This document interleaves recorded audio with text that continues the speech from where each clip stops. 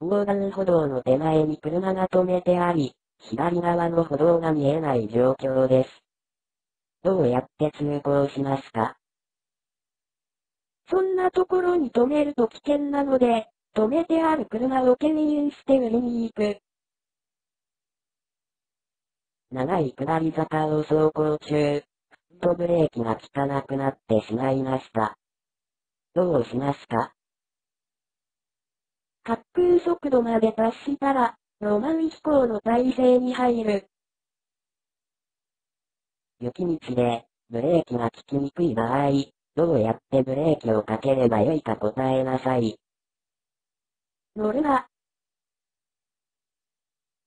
交差点で警察官が両手を左右に水平に上げています。どういう意味ですか？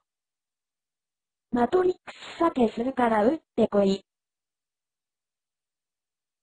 後方車が自分の車のギリギリまで近づいてきました。完全に対処するにはどうすればいいでしょうかちょっとハンドル持っててくれ。